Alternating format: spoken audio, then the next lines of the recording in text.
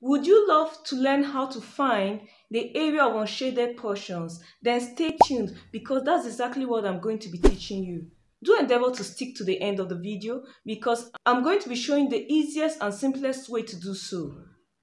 I'm also going to be showing you a second method which you can use to solve it. Without further ado, let's start learning.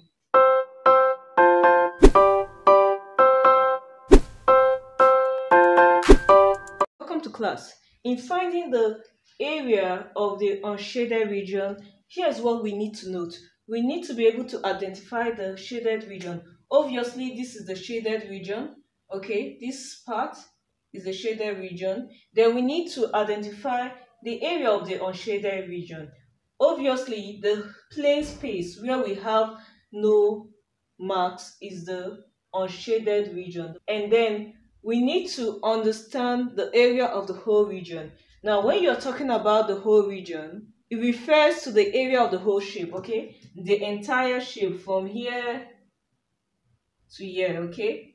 That is the area of the whole region. So how do we go about finding the area of the unshaded region? We are going to say area of shaded region, okay, plus the area of unshaded region is equals to the area of the whole region.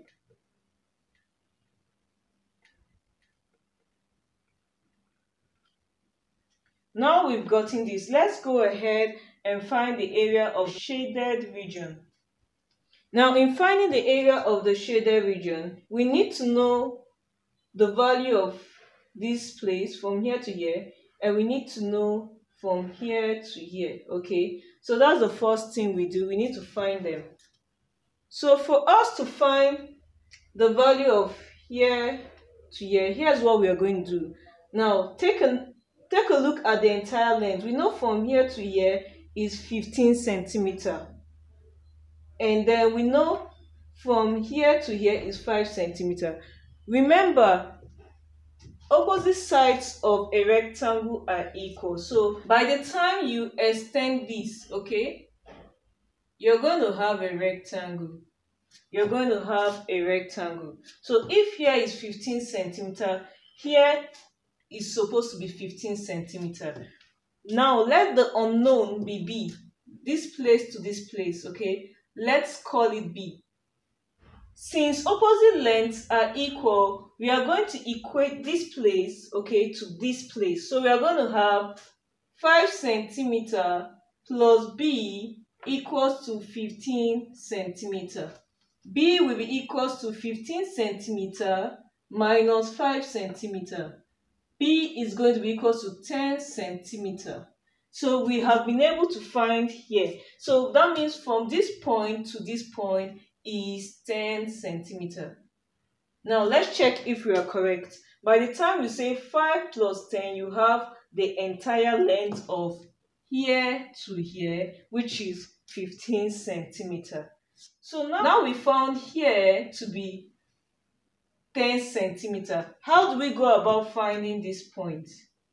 Now, if we take a look at this question, we are going to observe something. The entire length from here to here is 20 centimeter. Now, if this entire length is 20 centimeter, opposite sides of a rectangle are equal. That means from this point to this point ought to add up to give us 20 centimeter. But we are given just here and here. So how do we find here? let us have this place as C, okay? Let it be C. So we are going to equate this to this. In doing that, we're going to have 4 centimeter plus C plus 4 centimeter equals to 20 centimeter. Remember, here is equals to here. So we are going to have, when you say 4 centimeter plus 4 centimeter, you have 8 centimeter plus C equals to 20 centimeter. Now that we've gotten this, we are going to have C is equals to 20 centimeter. Now this 8 centimeter crosses the equality sign, it becomes negative.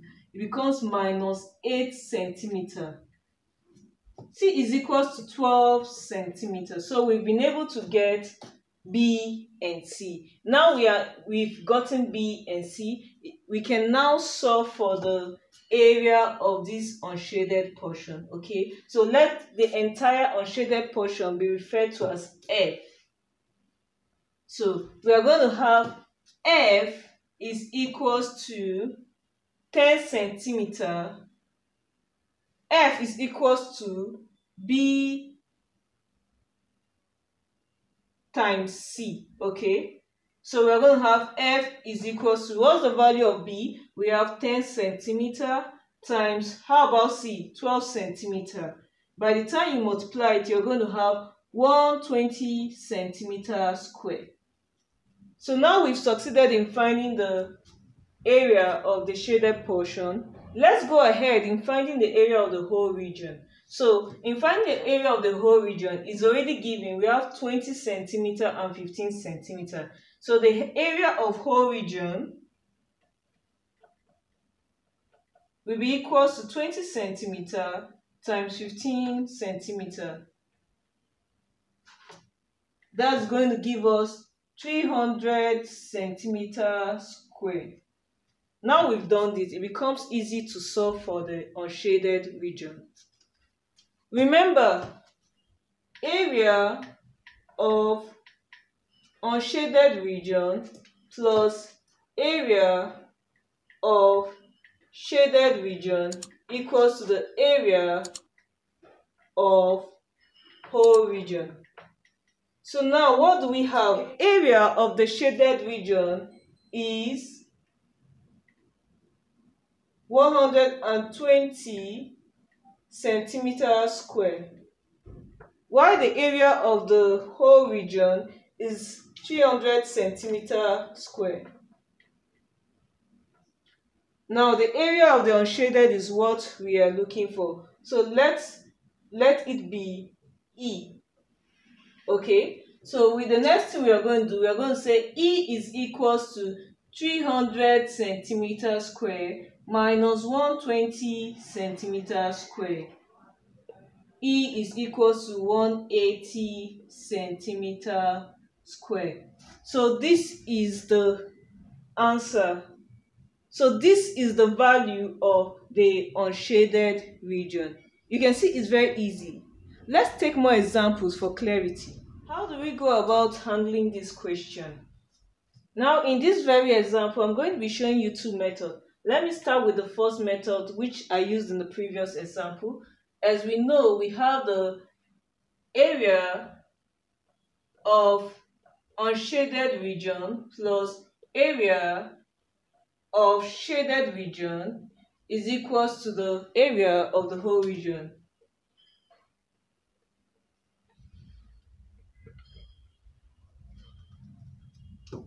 Let the unshaded region be A, let the shaded region be B, and the area of the whole region be C.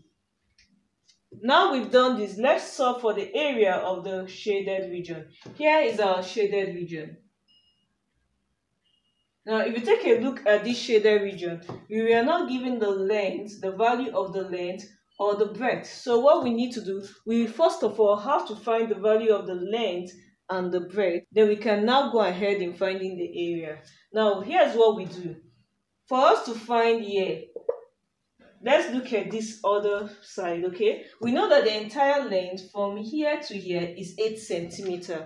And we know that opposite sides of a rectangle are equal. So, so what that means, if here is 8 centimeter, here is supposed to be 8 centimeter here too. So here's what we are going to do. For us to find this place, we are simply going to say, let here be f, okay? Let here be f. And then we are going to equate 8 centimeter to the sum of this. In doing that, we are going to have 8 centimeter equals to 4 centimeter plus f. Collecting like terms, we have 8 centimeter. Now, this crosses over to the left-hand side. It becomes negative. We have minus 4 centimeter equals to f. Remember, whenever a number crosses the equality sign, it's going to change. If it was positive, it's going to be negative. So this is exactly what happened here. So we are going to have 8 centimeter minus 4 centimeter. We have 4 centimeter equals to F. So F is equals to 4 centimeter. So now we've been able to find the value of here 4 centimeter. Now if you sum this up, you're going to see that we're going to have exactly what we have here. So 4 centimeter plus 4 centimeter gives us 8 centimeter. That means we are on track. So the next thing we are going to do, since we found here, let's find this point, okay? Let's find this other length. Now let's call this G, okay? Let this place be G. Now if you take a look at this shape, you're going to notice the entire length from here to here is 12 centimeter. And opposite sides of a rectangle are equal. So that means from here to here is equally 12 centimeter. G is that number that we are going to add to 8 centimeter to get 12 centimeter. So here's what we are going to do. Let's simply equate them. In equating them, we are going to have 12 centimeter is equals to 8 centimeter plus g, okay? So we are going to have 12 centimeter minus 8 centimeter equals to g. So this minus this, we have 4 centimeter equals to g. So that means the value of g is 4 centimeter. So we equally have 4 centimeter here. So the area of the shaded region will be F times G, which is equals to 4 centimeter times 4 centimeter. It gives us 16 centimeter square. Now that we found this, let's go ahead in finding the entire region. The area of the entire region is simple length times breadth. So we're going to have 12 centimeter times 8 centimeter gives us 96 centimeter square. So this is the area of the entire region. So now that we've gotten the find the area of the shaded region and the whole region, it becomes easy to find the area of the unshaded region. Remember, we have area of unshaded region plus area of shaded region equals to area of whole region okay? Now what's the value of our whole region? What did we get as the whole region? We got 96 centimeter square Okay, what about the area of the shaded region? The area of the shaded region is 16 centimeter square plus the unshaded region. So A. So what we simply do, we say A is equal to 96 centimeter minus 16 centimeter. Okay, so A is equal to 80 centimeter. So the, the area of the unshaded region is 80 centimeter. Are you still watching? If you're still watching, that means you're getting value. Hit that subscribe button, give me a thumbs up. Now let's look at the second method to solve this. The second method to solve this is to bring out the unshaded portion, okay? Bring it out from the entire shape. Now we've done this, the next thing we are going to do, we are going to divide this shape. If you take a look at it, you know it's a, an irregular shape. So let's divide it so we can get two regular shapes. This is going to make our work easy. So if you take a look at it now, you're going to see that we have a horizontal rectangle, let's call that A, and we equally have a smaller horizontal rectangle. Let's call this B. So in using this method, what we are going to do, we are going to find area of A and then we find the area of B and then we sum it up. So here's what we're going to do. Area of A is equals to 12 centimeter times 4 centimeter. That gives us 48 centimeter square. Then area of B is going to be equals to, now we know that here is 8 centimeter, so that means this place is equally going to be 8 centimeter, alright? And then we were not given this place, we need to find here. So we know that the entire length from here to here is 8 centimeter. So let's extend this, okay? By extension here, we are going to have a rectangle. So if here is 8 centimeter, what do we add to 4 to get 8 centimeter? We simply add what? 4. So the value of this place becomes 4. And if this place is 4, remember opposite sides of a rectangle are equal. So this place is equally going to be 4. So we can now go ahead and find the area of B. So the area of B is going to be 4 centimeter times 8 centimeter. That's going to give us 32 centimeter square.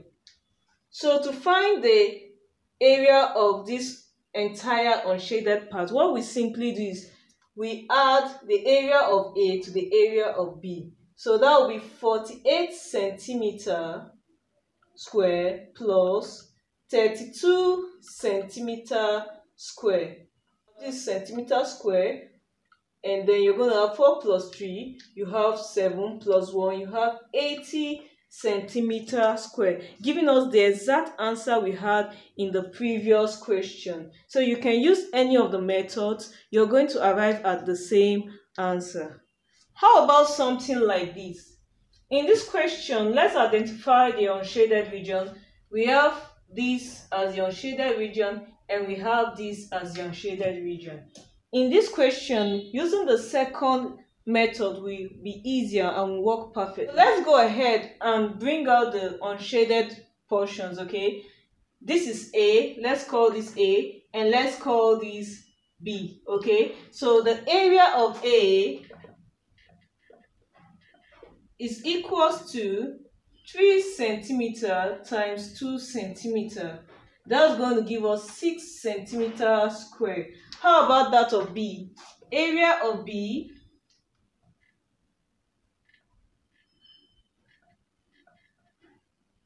is equals to, now what's the length of this? We have 6 centimeter and then the breadth is 4 centimeter. So we have 6 centimeter times 4 centimeter. That's going to give us 24 centimeter square. So now that we've gotten the areas of A and B, remember they are the unshaded portions. So for us to find the area of the unshaded portion, let's sum it up. So we are going to have area of A plus area of B. Now, when we do that, we are going to have 6 centimeter plus 24 centimeter is going to give us 30 centimeter square.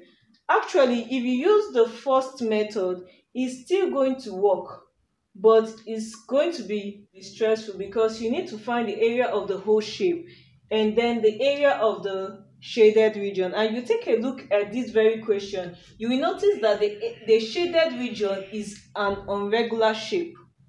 It's not a regular shape but if you take a look at a previous example we have solved you will notice that the shaded portion is a regular shape. So whenever you have the shaded portion as a regular shape, it's very convenient to use the first method. So this is it on the simplest way to find the area of shaded portions. If you got value from this video, give me a thumbs up. Would you love to get more videos like this? Hit that subscribe button, turn on the notification so that you can get notified whenever I upload educative videos like and don't you forget Math can be easy. I love to see in the next video. Thanks for watching.